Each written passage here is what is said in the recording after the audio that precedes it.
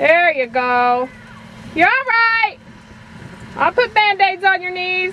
Good job, Zeke. Good job. His knees are killing him because he's got shorts on. All right, that's all right. You don't have to lope her. Make her stop, though. Stop.